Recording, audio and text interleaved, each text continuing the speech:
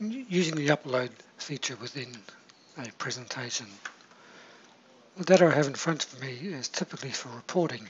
However, as Atlas provides upload, then it's possible, just like a spreadsheet, to make this grid editable and uh, for a user to give them permissions to update Dynamics AX. I'm going to build an upload where for each customer in this report, I would like to update credit limits and credit ratings. To do that, first I see if there are any uploads applied to this, which are currently none. So I'm going to add an upload. The type of upload I want is an update. I'm, I'm updating existing data. I'm not adding data, replacing data. Or pending data is a journal. I want to update existing columns of data. So I'll choose update. And I will call this update AX credit limits.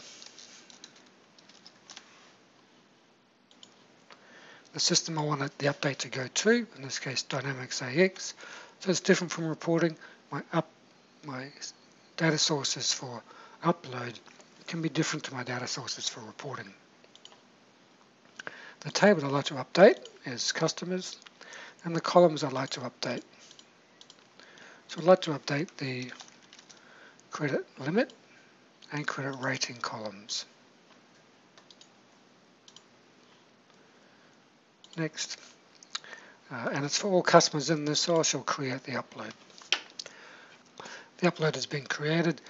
From this inspector, I must now map the upload to what's in the presentation. So first up, it will be for a specific company, USMF.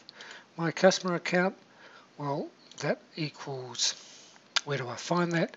So from my AX customers report, the account number here is where that is credit limit is found here and credit rating is found here. My, my customer account is my unique column.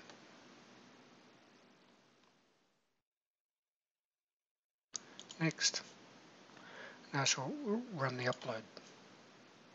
So the test is done, 30 here have been updated.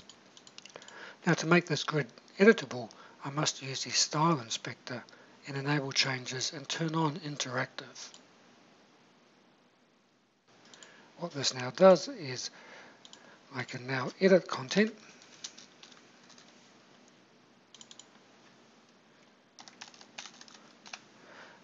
and so now when I do my upload I'm going to choose to upload my credit limits and run the upload and that's done.